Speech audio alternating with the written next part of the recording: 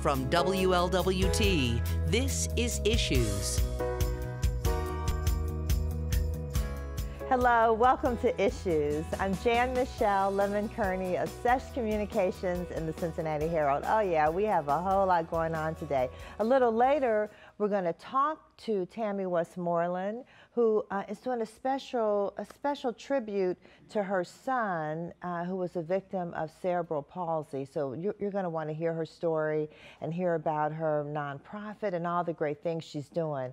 We're also going to talk to a former Miss Black Cincinnati and the current Miss Black Teen Cincinnati, and you'll see what their connection is. Uh, first, and I should say, to Michael Bobo is here, so yay, we're so happy to have her here today. Uh, first, we're going to talk to Miss Doris Brown about the Lucille Chenault Senior Ball, which looks like so much fun. Welcome, Miss Brown. It's so good Thank to have you. you. Good to be here. I know. I just, you know what? You do such a great job with this ball. When we see the pictures, everybody's out there dancing. Yeah. And okay, so let's go back. Okay. Tell us about Lucille Chenault, because she sounded like she was a real powerhouse. Yeah, she was. A little ball of dynamite, we called her. Yes. And, um, if she would be 120, I think, this year if she was alive. Oh my goodness! And she fell and injured herself on a boat ride and ended up in a nursing home. And while she was there, she met a lot of people and they didn't have relatives and some had relatives but they didn't come to see them so they felt very lonely right and so they told her said well you know we wish we could find one place to go one day out of the year have a ball they wanted to go to the netherland hilton but at that time uh-huh. they didn't have any handicap uh, accessibility oh, okay. yeah. so she, uh, when she called Mr. Mallory, William L. Mallory Sr., yes. and told him she wanted him to help her get that ball started, and he did. Wow. He helped her to get it started. So now, now how help. many years ago was that? This is the 44th year. Oh my goodness. 44 years. Are you kidding? Yes, 44. Wow.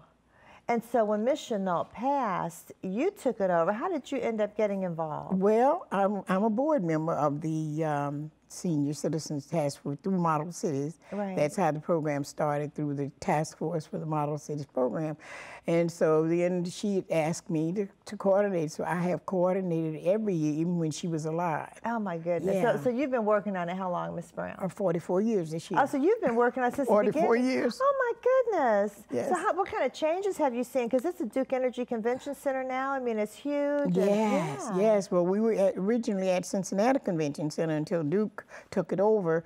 So we, we had gone through a lot of changes because nursing homes have made changes. Right. A lot of them have consolidated and going on out or something. So we don't know where a lot of the people are that we used to have. So our, our crowd has gone down a little, but we have had as high as 1,500. That's fantastic. Yeah. And so, is there transportation for the balls? Or yes. do you go to? Because I remember we talked about this before. I thought you had buses that went to the nursing homes. Yes, we have to pay for the transportation for them to come uh, and to go back. And um, Peterman uh, usually does a very excellent job. They've been Wonderful. with us for 44 years.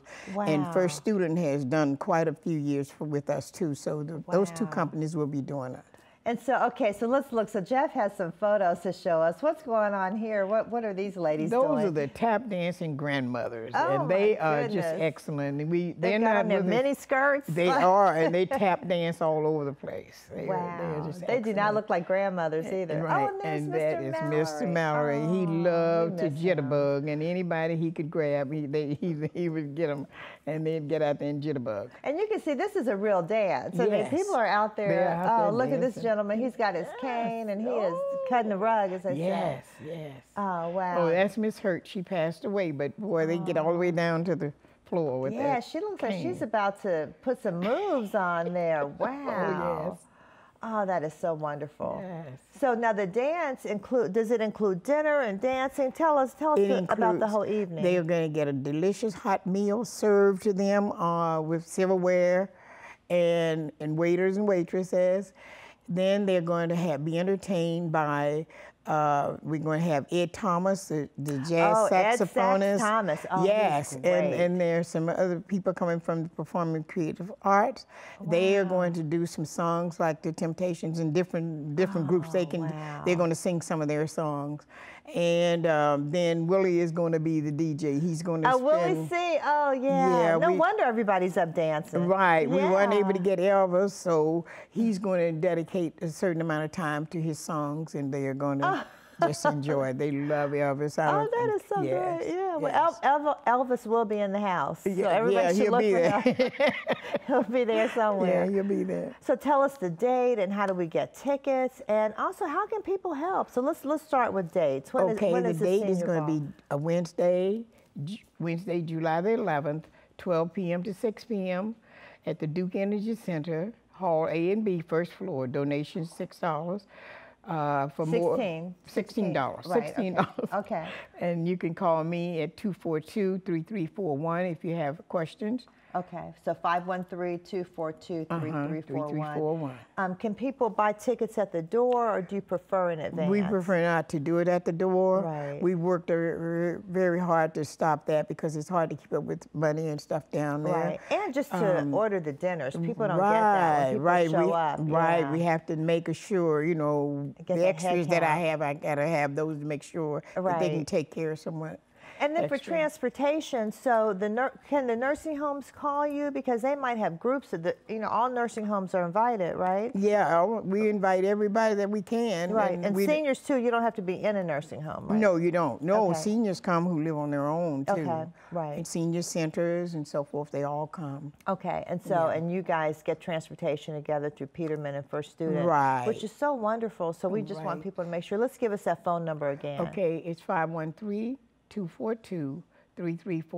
Okay, 513-242-3341. Thank you, Ms. Brown. Thank you Mm-hmm. For your 44 years of Thank work. you. That's just amazing. Yes, Oh my goodness. It gets better each year, you know. Yeah, I mean, it you looks get like a little so much- tired, but it's still worth it. Uh, you're you're just so beautiful. Thank, you for doing that. All right. Stick with us. Michael will be here. We're going to talk to Tammy Westmoreland in just a sec. Thank you, Tina.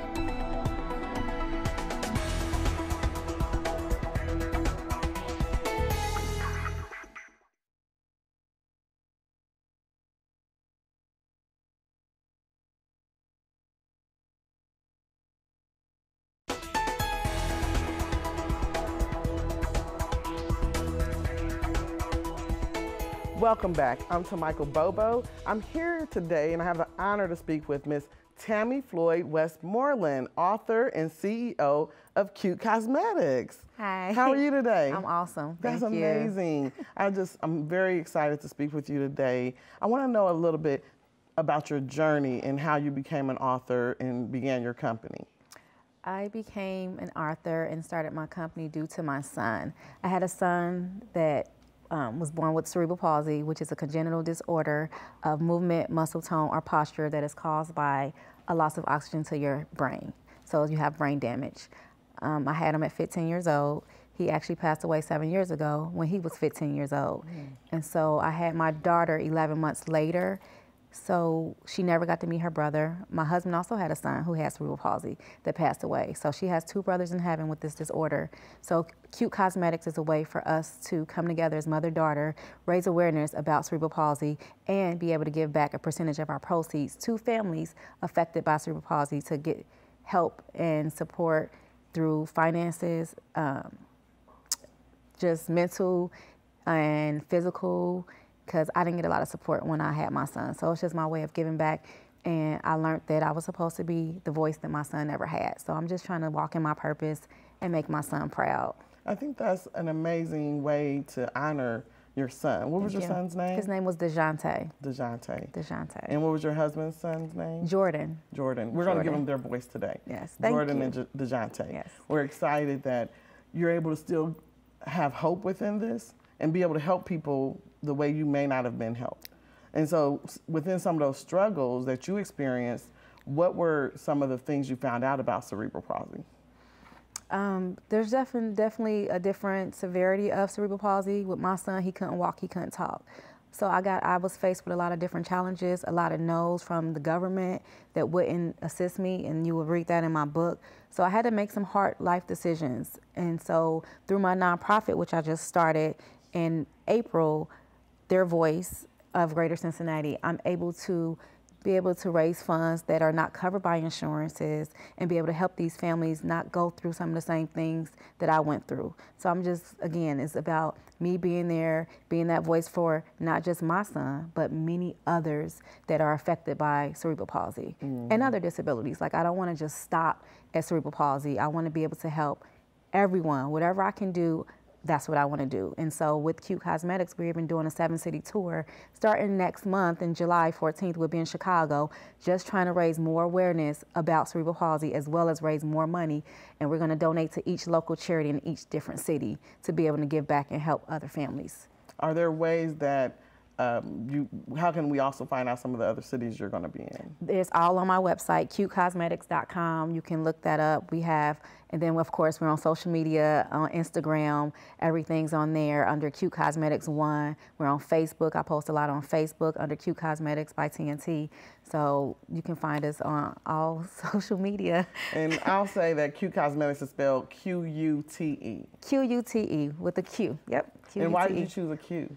My daughter was one and she loved lip gloss and she would always compliment others and you're cute, that's cute. And so I asked my sister, I said, how, what if we change the C to a Q and do Qute Cosmetics and make it cute for a cause? And you can help raise awareness that way. Cute for a cause. And so we should also say the name of your book, the title is life after. It's life before and after before cerebral after. palsy. We are their voices, and you will find my story about everything I went through, as well as my husband wrote a piece of his story. I also had a cousin who had a son that had oh. cerebral palsy that passed away. Oh, I'm getting emotional, and. Um, you get to hear my mom's side as well as two my sister and two friends. I wanted to give it an overall perspective of people that you are with every day who maybe don't know how to relate or don't know what yeah. to say or don't know what to feel. So it, I wanted to give that. It seems that this will also help people, as you said, that are going through other disabilities and parents that have to deal with their children that's experiencing this and not, and also for the children that may not have that voice. Or even if the ones who've experienced loss, the how to live life after Afterwards. death. That is amazing. Thank you. And we also want to just mention that you have the their voice because you have you're wearing a beautiful shirt today. Thank you. and your shirt says to uplift, inspire, and support their voice, families affected by disabilities. Mm-hmm. And how do people reach you if they have a specific, do they have to fill out applications or what's that process Again, like? they can reach me through um, social media, email. Um, I put that on, it's on my website, again, qutecosmetics.com. You can reach me that way. Um, I have business cards I pass out. I have no problem. You can call me, 513-372-1888. Okay, repeat the number one more time for us. 513-372-1888. 513-372-1888. Eight, eight. Yes. Okay, we just want to make sure because there's some people listening on the radio so that they can make sure they get the number so okay. they can contact you. And when you go out into the community, you give information there as well. Correct. Do you have anything coming up in the community uh, outside of your um, tours? Because that's in Chicago next it's month. It's in right? Chicago next month, we're going to hit each city, and we won't be back here until April, which will be the second annual fundraiser for Their Voice, and we're going to make that a big thing and hope, pray to God that we raise so much money to be able to help so many families because it's definitely needed. Um, right now, we're helping a family in Wisconsin. It's just the small things. We're just sending her yes. baby wipes for a year. You know, just little things that we can do to help families that are affected, like things that people just don't think, don't about, think about, on a daily basis. Because mm-hmm, the struggle of paying for it and then also still living your and life living your day life. to day, paying rent and paying bills and getting food and everything exactly. is difficult, it's and you're going to be able hard. to help people that way. It's definitely hard, and hopefully be able to give more support to the families and to the parents physically and yes. get them some type of help because it's a lot to take care of a child.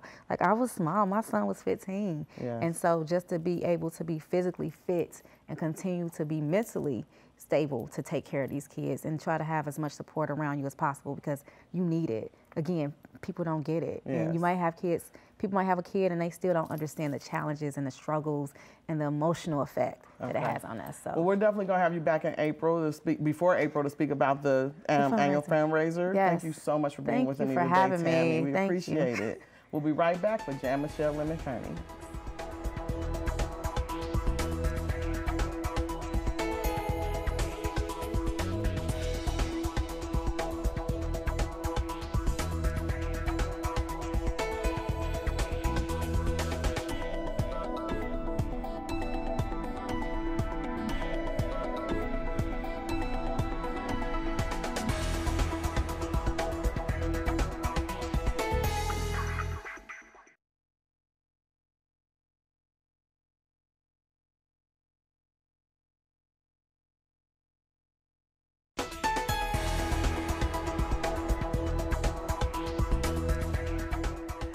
Welcome back. Okay, this is so exciting because we have a mother-daughter duo here.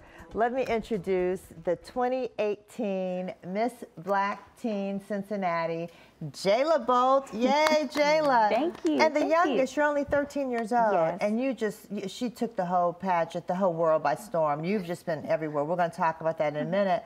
But your mom, Angela Grayson, you were the 1995 Miss Black Cincinnati. Correct. And then you won all around. uh, 'cause- 2014. yeah, because all the different years, um, the Miss Black Cincinnati's from all the different years um, competed, and you won that too. And so, and so you're, but you're the first mother-daughter team. So you grew up hearing about pageants. Yes, I I mean, ever since I was little, it's been everywhere. My mom, she talks about it. She helps out with the pageants, so I got to go sometimes. I would sit down and I'd watch, and I was like, "Ooh, I want to do that." And Mr. Humphreys, of course, it wasn't one for 12 and under. And He was like, "I'll make you one. I'll make you one." But then I got old enough, so I did the teen one, and it So you nice. just barely got in with the age limit at 13, Yeah. and then you won. I mean, and the competition is stiff because all the girls are just, you know, they're talented, they're smart, they're beautiful. Right. Um, and you got up there and you did that poem that, oh my goodness, about, you know, why did God make me black? And, you know, people were just crying. I mean, and it was beautiful. I mean, it was just like such a, you know, such a, I think, a self-esteem booster for for young girls. And you know, how, how, did you end up choosing that piece? Um, well, we looked at a lot of stuff really. My mom, she was like, oh, you could do this and you could do this. And we asked my grandmother, everybody was helping out. Then my cousin was like, well, did you check online? So we looked it up. I saw the Black Prayer. I read it. And I was like, this is this is amazing. So I Yeah. showed my mom. Everybody loved it. So it was just a matter of really crafting it and getting everything together so that it would be a good piece, not just speaking. And you know what? And I'm just sitting here thinking, man, she's got stage presence. Angela, you're you're the mom. How did you how did you raise her like this? I mean, she's just phenomenal. I don't know if I did it on purpose. I mean, I make sure that she understands you're always on display. People judge you by how you speak, they judge you by how you walk. So I'm always on her about those kind of things. But when it came to the pageant, I really had to take a back seat because it's like, I can't do the pageant for you. It has to be something that's inside of you that you really want. And so, probably after like a month, um, that's when I began to realize, okay, Angela, this has to be her, not you. right. You know, I can't tell you, go in there and practice. When I was in the pageant, I walked around the kitchen with heels on washing dishes. Did you really? Oh, most definitely. you know, but she had her own way of doing things. And she's one of those children. She's been watching me the whole entire time. So even though I don't recognize I've been on display, she's been watching, taking her own little mental notes and And she that's was that's a good lesson for parents, right? Yes. Like your children watch what you do. You can say a lot, but they're watching what you do. And that's what she's done. and you're a positive role model for your daughter, and you Yes. you've done Thank so you, well. Mom. You're welcome. I I know. try to be. So so so so what did the pageant do for you? Um, the pageant really, well, believe it or not, I don't really think I'm an outspoken person. Really, Not- I can't mean, believe that. Yes, be quiet. um, I feel maybe it's just being out and not knowing people, and I feel like I'm, I'm quiet. So maybe the pageant, I think it opened up doors for me, seeing all these other girls showing what they have, and I was like, I need to, I need to do it because no one else can, no one else can do it for me. Right. I had to put myself out there. I had to try harder than just smiling. It's not just smiling. It's you not. have to. Yeah. It's really it takes work. Right, I'm- practice. it does. You know, I, I, um, it's not a beauty pageant. You know, all of you all are beautiful, but you're really judged on things like poise, intelligence. You have to answer these questions, and we have some pictures um, that are going across the screen with different scenes from the, from the pageant. But you have to answer questions on the spot. Um, you know, you have to speak to the audience. Oh, that's gorgeous. That's yeah, with Thank your you. crown on. I mean, it's just. I mean, it's really. There's a lot to it. There is. It's more than just trying to make sure you don't fall in your shoes. Right, yeah, right. You can't just like prance around looking good. I mean, you have to come up with a lot of poise. You have to think on your feet. You have to speak out. Yeah, and the question, the question at the end where they ask you and you have to think on the spot. It's not practice. It's not rehearsed. You have to really come up with something, or else. Right. mm. and that's actually a really good skill to have. It is being able to speak extemporaneously. right. That's yeah. right, definitely. And so now, and so, and I, and I have to say that you've been a big hit. You were at, at the Bright Awards, Nefertiti, the, uh, the Sigma Pi Phi Yes, fraternity. it I mean, everybody's talking about you. So, but you know, let me just switch over because the Miss Black Cincinnati pageant is coming up. Right. So, Angela, tell us what are the criteria for right. that? So it's coming up in November. The date hasn't act- actually been set. Okay. But the criteria is you need to be at least 17, um, a senior in high school or older. If you are in school, you have to have a 2.0 GPA. If you're not, of course, you at least have to have your GED or your high school diploma. Um, single, never married, never having children, and a natural born female. Those are the criteria. You need to make sure you have a performing talent uh, because you have to have a talent when you perform. And some of the talents are some are singers, some are dancers, um, some do poetry. Um, so it, it's really the talent is, is really widespread. It's wide open. It really is. It's not that you're locked into one. Right. So it could be something unique as long as it's something that you can perform on the spot and be able to showcase it. And I think, you know, I think Mr. Humphreys and also we should say the um, Cincinnati Black Theater Company, Don Sherman, um, together do a really good job with these pageants. There's a lot of training and practice Oh, that goes definitely. into it. Yeah. They trained for about six weeks. Yeah. it's a lot of work. It's Yeah. about two hours of practice, you know, once a week. You come in and you get that training, and it's diligent because the goal is not just to put on a pageant, but to make sure we teach you how to present yourself young well woman, like, to other people. Yeah. Right. You were saying what, Jayla? Um, just to make sure you're presentable as a young woman and that you showcase yourself in a way where you feel respected and you, you feel beautiful, that everybody sees you as who you want to be seen as. That is so right. fantastic. Well, we're so excited to have both of you. Thank you so to get information about the upcoming pageant, Right. To get information, you can call RLH Pageants. Um, the phone number is 513 368 8108. Okay, 368-8108, and here it is up on the screen. And Right. Jeff has another number up here also, 513-241-6060. Oh, that's the Cincinnati Black Theater Company. Right. Okay, 513-241-6060. And they should also know we're always recruiting for the teen pageant. It'll be coming up again in April when Jayla gives up her crown. Oh. So who knows? You could be crowned the next Miss Black Black Teen Cincinnati. Cincinnati. All right, mother-daughter dynamic duo. We'll be right back in just a moment.